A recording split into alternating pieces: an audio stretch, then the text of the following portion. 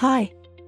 In the next few minutes, we'll take a look at some of the highlights in the new LoadRunner Enterprise release.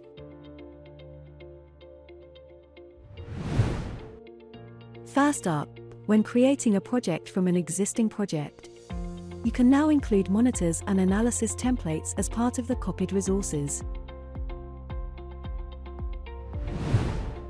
When using a Kubernetes orchestrator with Dockerized host images, you can update Kubernetes configuration settings.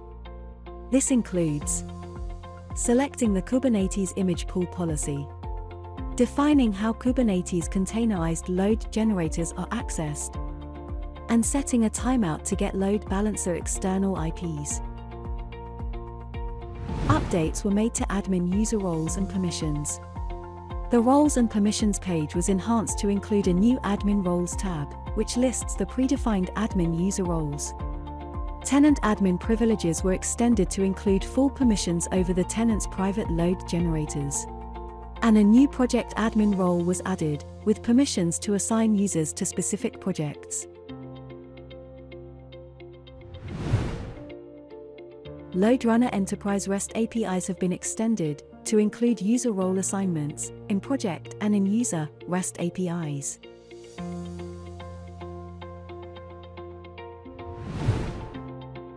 LoadRunner Enterprise now integrates with Prometheus.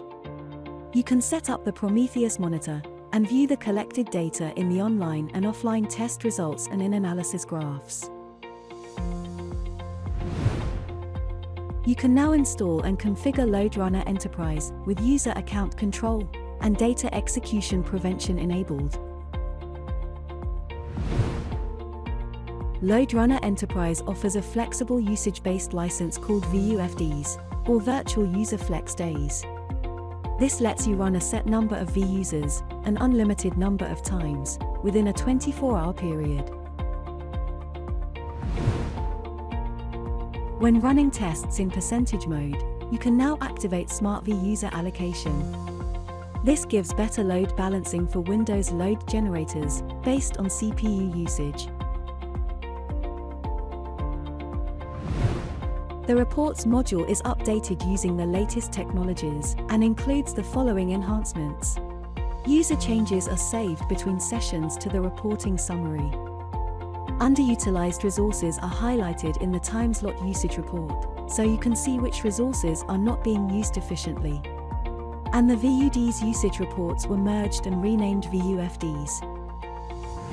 And finally, you can set the concurrent sessions login limit. This lets you set the maximum sessions per user, per application, and define the behavior when this limit is reached. Check out the Help Center to learn more and enjoy the new LoadRunner Enterprise release.